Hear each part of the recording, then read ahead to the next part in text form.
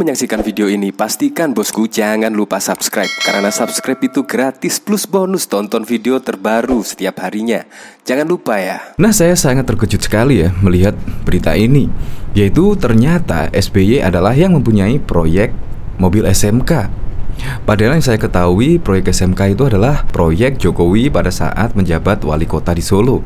Tetapi usut punya usut ternyata proyek SMK adalah proyek ambisius dari SBY Masa sih?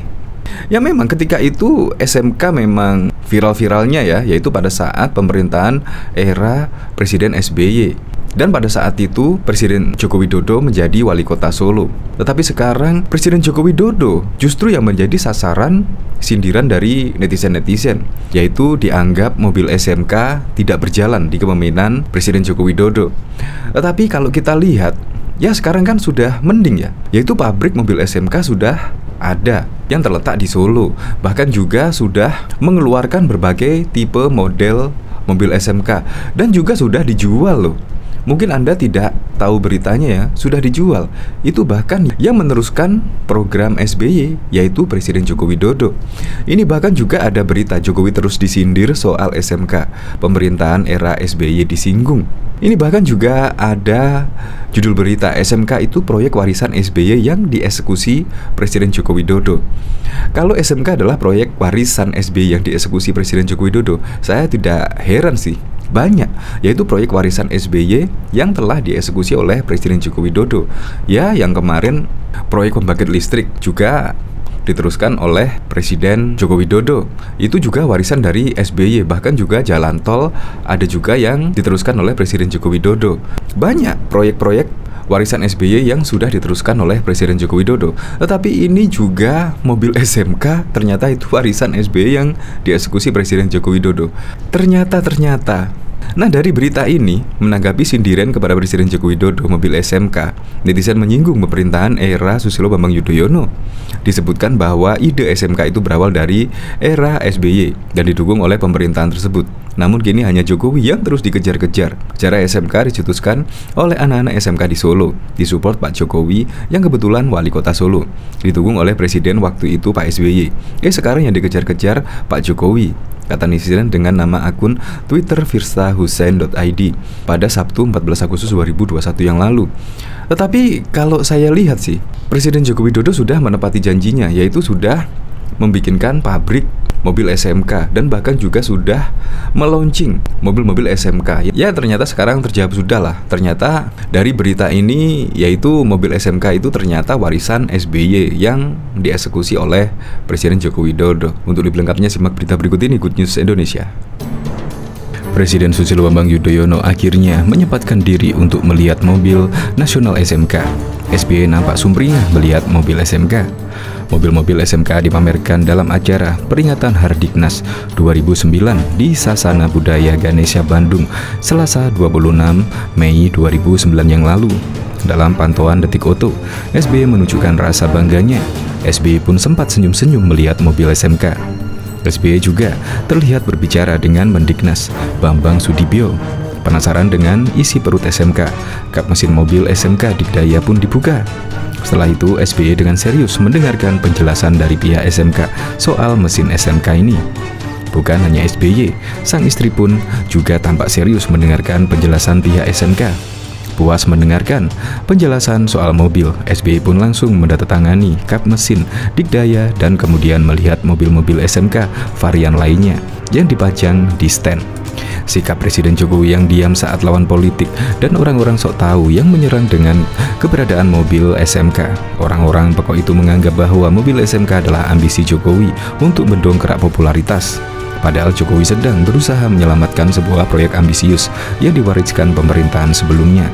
Terlepas bagaimana dan teknologi apa yang akan diterapkan pada mobil SMK, kita harus cari tahu dulu kapan dan bagaimana proyek SMK itu dimulai.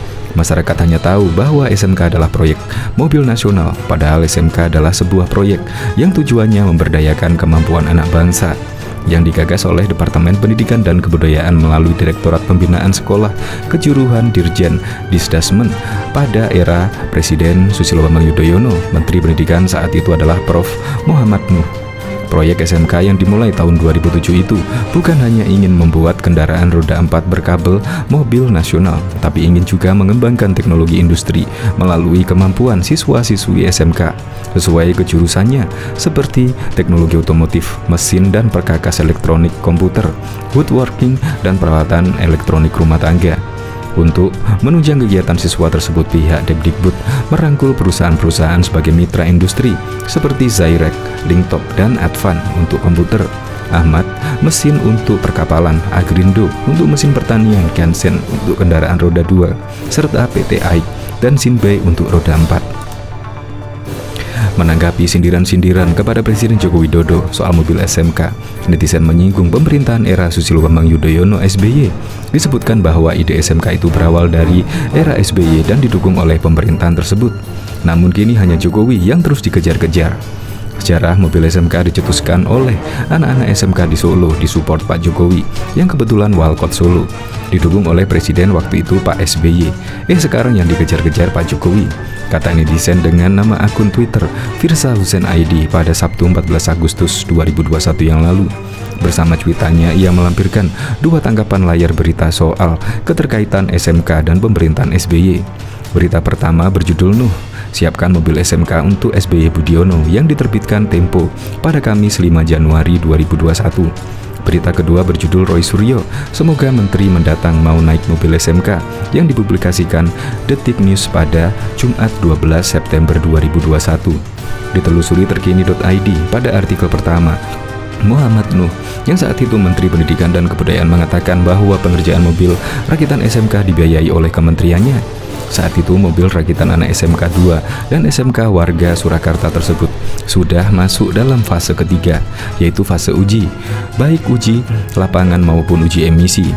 Jika fase ini sudah dilewati barulah masuk ke fase komersialisasi. Menurut Nuh, mobil model SMK muncul tahun 2007 lalu.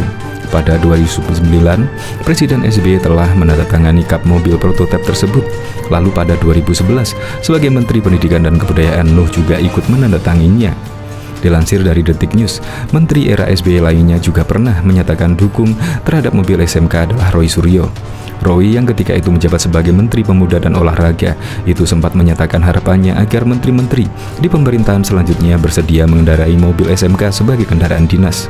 Roy menyampaikan hal itu saat menghadiri acara temu kangen keluarga alumni Universitas Gajah Mada pada Jumat 12 September 2014. Semoga untuk pemerintahan berikutnya, Kagama dapat melahirkan kembali menteri-menteri dan semoga semua menterinya mau naik mobil SMK yang pernah saya kendarai dari Solo ke Jakarta itu, ujarnya.